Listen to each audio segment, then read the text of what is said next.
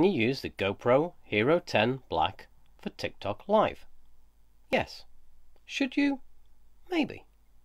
Let's talk about how to set it up. To do it, you need two pieces of software, one from TikTok, one from GoPro. To know if you can do a TikTok Live from your PC, click the menu and see if you have Live Studio as an option.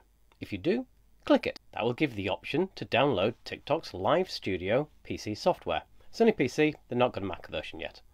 Oh, no Linux. To use a GoPro as a webcam, go to the GoPro site, go into how to use it as a webcam, download the PC software. You install the two pieces of software, that's when it starts to get a bit fiddly.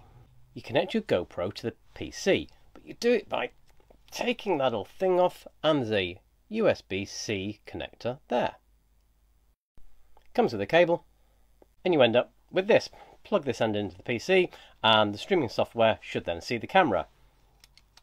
Yeah, bit of an issue. You can spend even more money on your GoPro and get one of these things which actually has a cutout for the USB-C.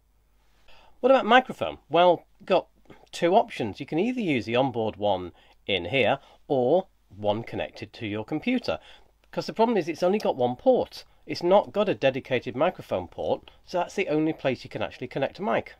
Again, you can spend even more money and get a housing and, and, and stuff like that. That's even more expense. And the results, eh, they're, they're not bad, but I'm just finding it a bit too fiddly.